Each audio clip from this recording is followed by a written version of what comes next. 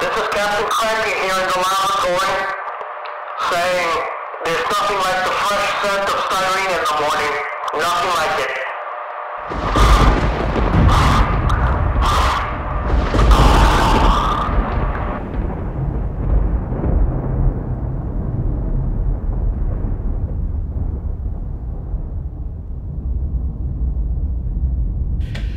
Hey everybody, welcome back to the laboratory. Dr. Cranky here, putting the finishing touches on uh, the Death Stalker. Um, but I wanted to do a video, and it might end up being a two-part video. We'll see on dry brushing. Uh, a few of you have asked uh, about it, and uh, you know, there's plenty. There's plenty of great uh, dry brushing videos in the um, wargaming community uh, made by all sorts of wonderful people, uh, including uh, the good folks over at uh, Warhammer uh, TV. So uh, I'm just going to give you my little spin on it, okay? And also that I had been wanting to to use this uh, Ryza Rust, which is a, a dry uh, paint from um, Citadel, and it's not completely dry. I mean, this is not uh, a pigment uh, powder uh, the way that uh, uh, most of us who use pigments, dry pigments, have learned to. Um, to use that. Uh, this is a uh, this is still a paint, heavily pigmented and uh, creamy. You know, very creamy, and we'll we'll show you that. And we've been using, of course, the Necron compound, which is the same line of dry paint for a lot of our, um, you know, metallizing um, dry brushing that we've been doing, uh, including uh, on the uh, on the gun there. But I'm going to walk you through it in a minute. Uh, but I'm just trying to set up uh, this video now. Let me let me show you a few things here. Um, this brush right here, which is uh, one of our favorite brushes. Um, it's it's you know for medium sized details. It's a medium round by KMM, and uh, we use this for our washes. It's it's a very good brush for um, and it's round, of course, uh, for applying pin washes and panel washes. And washing is yet another great technique. All right, uh, we've we've discussed that earlier, uh, but I'm going to show you.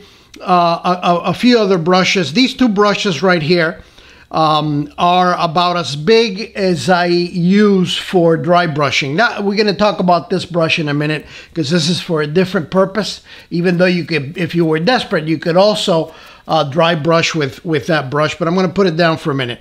Um, so you want to have a little bit of control over your dry brushing. Uh, and uh, as you will see when I start doing it, uh, you want to load up uh, a, a, lot of paint on the uh, on the brush, but then you want to get rid of, I would say, 95% of it on a on a piece of uh, paper. In this case, we're using a puppy diaper, which is always our favorite. Uh, form of uh, catching all of the overspray when we are airbrushing. And I mean, normally we would do the airbrushing uh, over at the um, you know at the uh, at the paint booth. But you know uh, we're trying to make uh, our videos and and share them. So we you know we do it like this. And the puppy pads are perfect for uh, dry brushing. And you'll see in a minute. Now um, you want to have a little bit of control over what areas you dry brush. So this is usually about as big as I go, depending on how big the part is. Uh, for example, uh, here uh, with this gun, you know, we could you could um, you could you know you could dry brush in every direction. We're not going to do it yet. We're going to show you in a minute. Um, but you know you go all over the place getting you know dry brushing is a is a technique that gets um, paint on what I would call the highlight areas, you know, uh, uh, bumps, ridges, um, any any relieved detail uh, will catch the highlight of the dry brushing and it'll make it stand out. So, and this is what the uh, miniature uh, painters have learned to do so well in that they put down a base coat, okay, then they put down a wash, then they dry brush, and in those three layers, you get a lot of the detail to jump out at you. So, um, you know, get yourself a few of these flat brushes. This is a number 10, this is a number 8. Okay, you can go a little bit bigger, half inch. This is a quarter inch, and this I don't know what it is. Well, actually, this might be the half inch, and this might be quarter inch. What do I know?